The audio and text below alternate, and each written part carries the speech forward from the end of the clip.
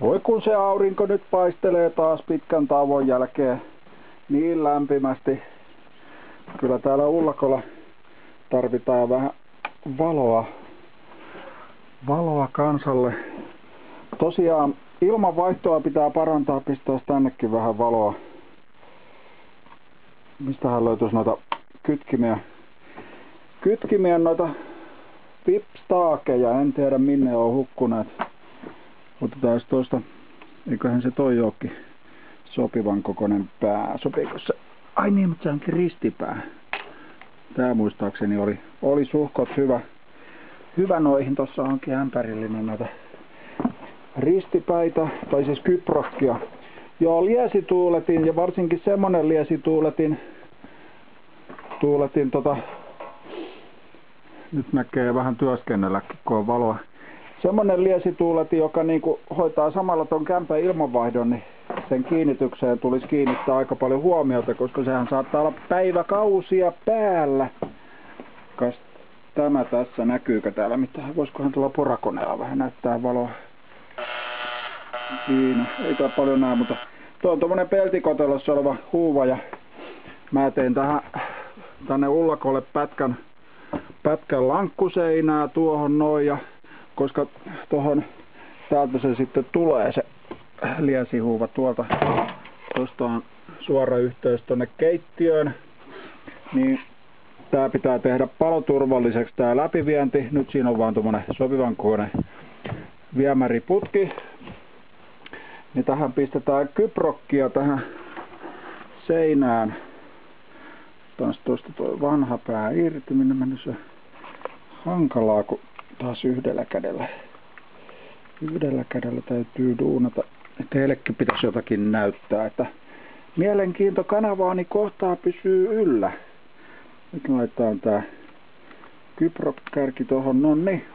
Joo, tähän sitten lautaseinää laitetaan niin kyprokkia, että pysyy se paloturvallisuus kunnossa. Että se saattaa siinä jäädä se huuva päälle päiväkausiksikin, viikkokausiksikin, että kun alkaa päästää käryä ilmalle, niin pit, käryä ilmaan, niin pitää olla sitten tasan tarkka semmoinen paikka, että se ei pääse palo leviämään siitä, vaikka vehkeet sitten kuumeniskin. Nyt päästään asentaa kyprokkia tänne. Leikkasin ne ensin sopivin kokoisiksi paloiksi. On vähän yli, vähän yli metrin kokoinen seinä.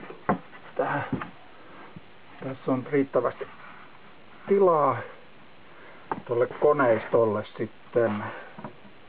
Se voi tässä turvallisesti toimia.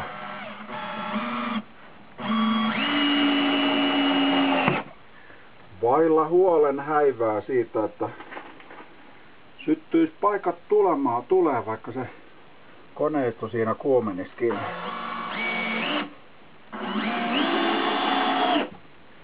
Joo laitetaan toi toinen levy siihen, kun se pysyy jo kahdella ruudulla suorassa.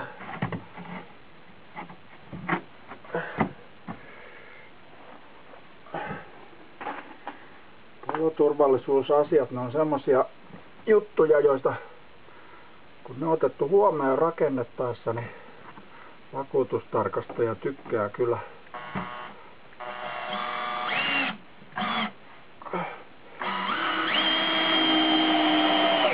Joo. Siinä sillä on tilaa. Mä taidan lopettaa tämän kuvaamisen. kuvaamisen. Siinä on kahdenlaistakin kyprokkia, mutta se on hyvä tulen kestävä materiaali. Noi täytyy noin rimat ottaa tuosta pois päältä, että se ei näistä lämpene siinä ja syty ne sitten tulee. Joo, täällä hommat jatkuu liesituulettimen ja ilmastointikoneen asennuspuuhissa. Sellainen asennus, ei kun vaan kansi kiinni ja laitetaan sekin vielä oikein päin ja näkee, että ainakin ihminen, joka näkee, mikä tuolla törröttää, tullut yksi johto tuolta pois. Se on kyllä käytössä, mutta ei se mitään. Laitetaan sinne sisäpuolelle kuitenkin. Noin. Se on hyvä olla toi seinä tota tukeva, kun tämähän vähän metel, metelöi, niin tota, se ei sitten resonoi siinä. Onko tuolla muuten valmiina yhtä reikiä tuolla? Mä oon kiinnittänyt sen vaan tuolta ja tuolta kahdella ruuvilla. Täytyy vaikka tuo ilmastointiputki sit, kun se päättyy tuohon, niin laittaa se kiinni. Mutta nyt on kytketty tämä yläosa. Täällä ei tarvi enää sähköasennuksia tehdä.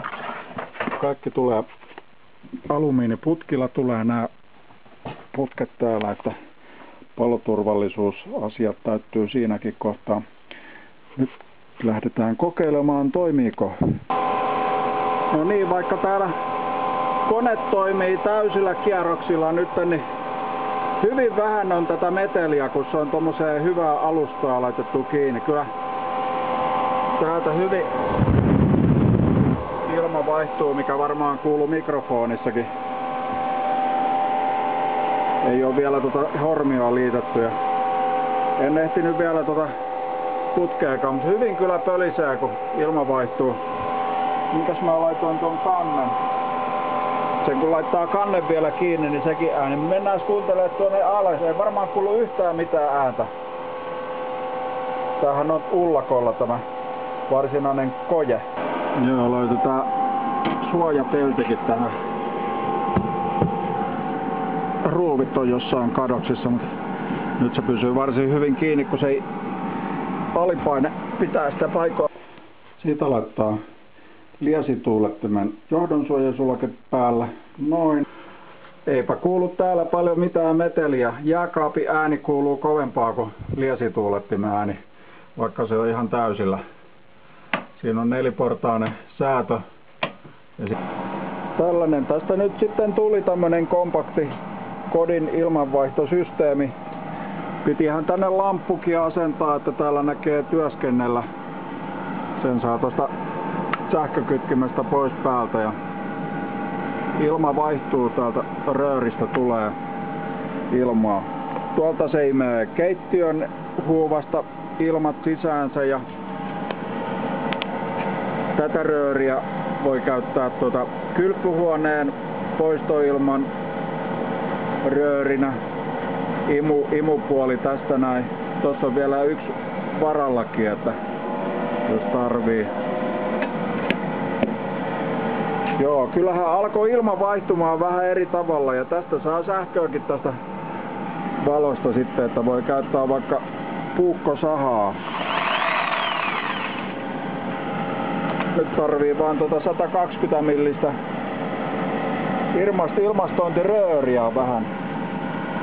Että saa tehtyä noin ilmastointiasennukset. Tällaista täällä tänään Marko Vanhasella.